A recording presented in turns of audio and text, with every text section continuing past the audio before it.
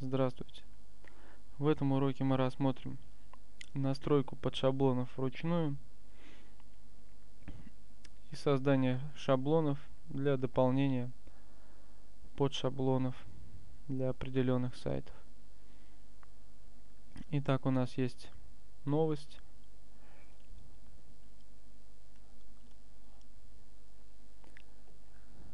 Различные сайты я затрагивать не буду, этот пример я покажу на одном сайте. Сразу оговоримся. Если у вас большая база сайтов, то есть тысячи, то лучше воспользоваться платной услугой фабрика шаблонов. Вручную настраивать это просто будет неразумно, так как большое количество потребует много терпения и времени. Реально настроить вручную приблизительно до сотни сайтов. Настройка вручную требуется для того, если на фабрике не имеется настроек для этих сайтов, либо если имеются настройки, то можно просто кое-где подкорректировать. Итак, возьмем один сайт youlikeit.ru э, на котором нету настроек с фабрики шаблонов.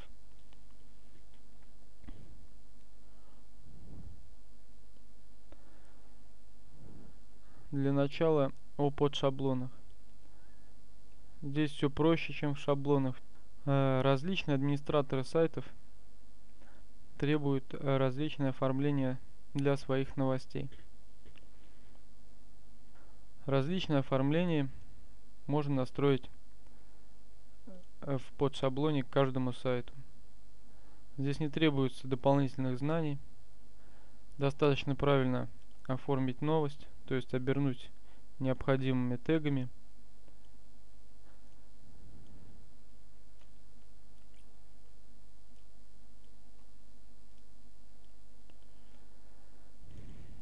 Ну а здесь уже выставить нужные значения. То есть выравнивание картинки в краткой новости. Можно сделать без выравнивания. Можно сделать центр, слева, справа, как требует того администратор сайта. Это поле необходимо обязательно заполнить.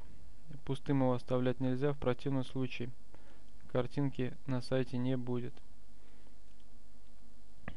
размер картинки. На некоторых сайтах э, администраторы требуют определенный размер. Допустим, 300 на 300, 500 на 500 пикселей, либо другой какой-то размер. Итак, допустим, если администратор сайта требует э, картинку размером 300 на 400, то в этой графе необходимо прописать 400 пикселей, так как программа обрезает картинку по большей стороне. Также э, в правилах обычно оговаривается, куда должна заливаться картинка на сайт, либо на сторонние обменники. Также некоторые администраторы просят красиво оформлять новости и для этого использовать цветовое оформление шрифта, которое также можно указать здесь. Далее у нас идет выравнивание текста. Если текст необходимо сравнять по центру, либо слева-справа, то проставляем. Если его не нужно трогать, то есть оставить дефолтовым, то мы оставляем пробел. Также можно воспользоваться дополнительными блоками, которые можно будет удалять из краткой новости. То же самое у нас в полной новости. А также некоторые администраторы сайтов запрещают какие-либо обменники. Здесь можно будет поставить галочку и ссылка на данный обменник в новости присутствовать не будет. Некоторые сайты имеют отдельные поля для, для добавления туда ссылок. В этом случае необходимо поставить галочку «Отключить все ссылки». Здесь можно будет настроить визуальное оформление ссылок.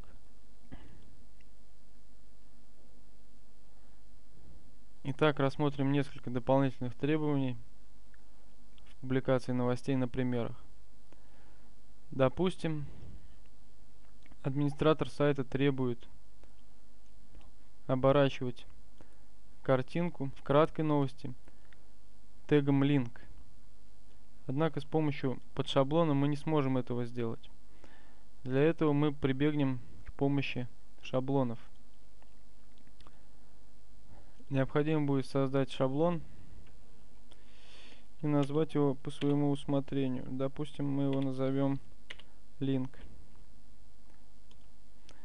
В этом шаблоне мы пропишем переменную и присвоим этой переменной значение. Допустим, это будет переменная link1, которой мы присвоим значение link.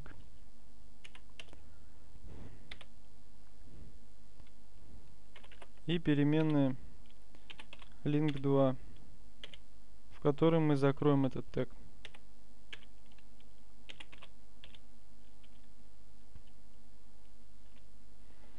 Вот у нас получился небольшой шаблон, где мы прописали переменную link.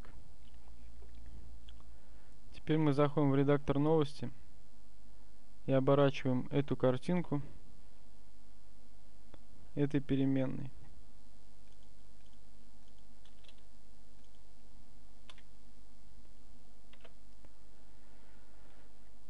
При этом нам необходимо будет выбрать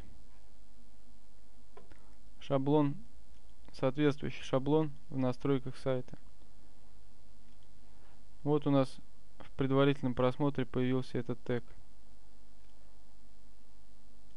На другом сайте, где не будет выбран этот шаблон, как вы видите, этого тега не будет. Э, некоторые администраторы требуют, чтобы часть новости оставлялась без какого-либо выравнивания. То есть, чтобы оформлялась без каких-либо тегов. А новость, где указываются основные данные э, программы, допустим, была выровнена по левому краю.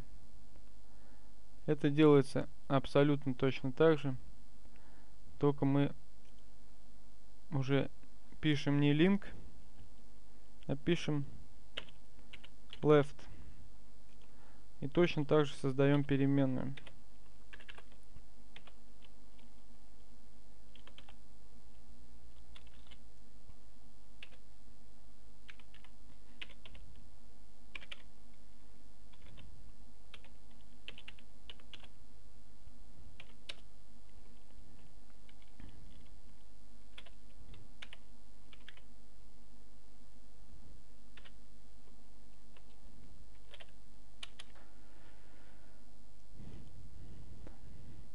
Теперь вставляем эти переменные в новость.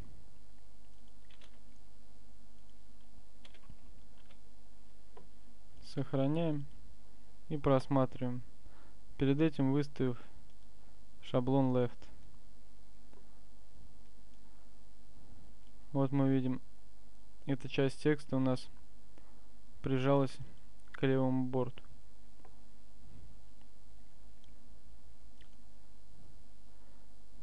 Если необходимо будет использование тега link и тега left, то мы просто объединяем эти два шаблона.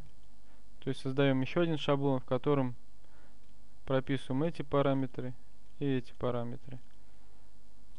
На некоторых сайтах не нужно э, размещать над ссылками заголовок блока ссылок.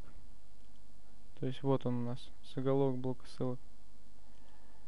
Для этого можно сделать все просто. Можно в под шаблоне в полной новости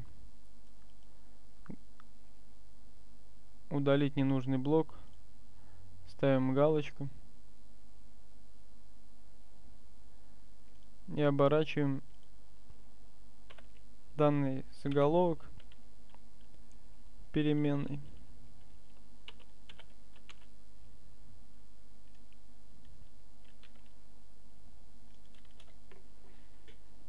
Сохраняем. И в предварительном просмотре мы наблюдаем, что заголовка нет.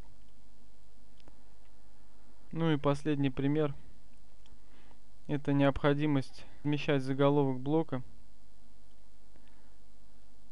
э, по тегам квот вместе с ссылками. Для этого также мы напишем шаблон. Назовем его, допустим, заголовок. В шаблоне необходимо будет создать переменную.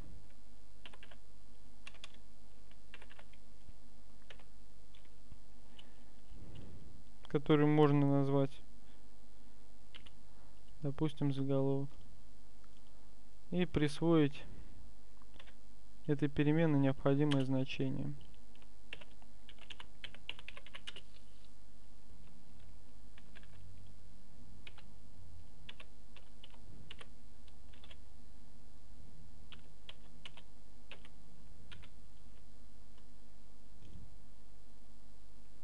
Также можно сразу текст сделать жирным.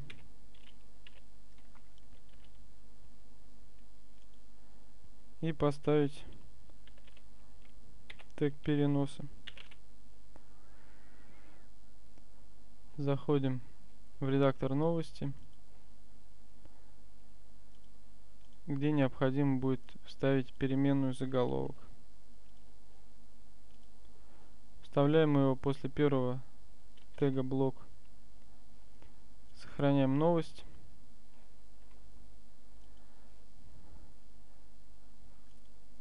Выбираем соответствующий шаблон заголовок. Вот у нас получилось. Скачать. Да, ну чтобы видно было, мы поставим так вот. Вот видно.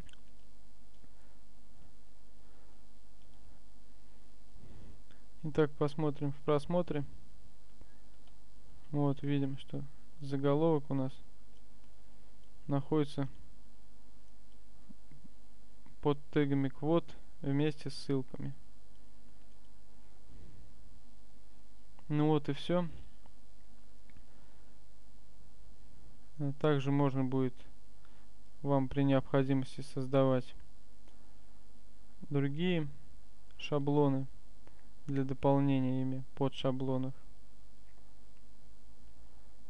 Все это делается по тому же принципу, что я вам и показал.